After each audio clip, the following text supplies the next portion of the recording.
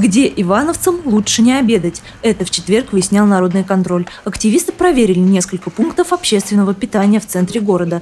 Вот одно из самых старых кафе на улице Громобоя. Посетители сюда влекут умеренные цены и, конечно, фирменное блюдо заведения – запеченная курица. Впрочем, претензии есть. Проверку кафе организовали по просьбе граждан. Много идет жалоб со стороны потребителей, со стороны э, жителей нашего города, которые заходят в эти сети, дай покушать.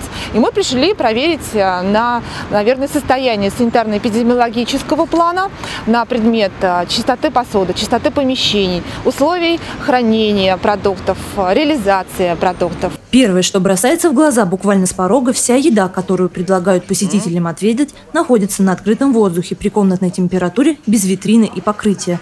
Далее, конечно, не без пререканий настойчивым активистам все же разрешают пройти на кухню. Поверхности для приготовления пищи чистые, а вот к соблюдению норм хранения продуктов здесь относятся менее внимательно. С вопросом общественники обратились к подоспевшему директору кафе. Я обнаружил картофель, там не указано, когда он был приготовлен. Может быть, он испорчен, то есть он лежит здесь недели-две уже, а вы продаете его. Нет, у нас есть брикеражный журнал. К чистоте кухонной утвари вопросов не меньше. Вот, видим даже небольшой размер. Дело даже не в разу. Я, я руками отковыривал грязь, которая вот на этой Вот посмотрите, это разве не грязь? Нет, это не грязь.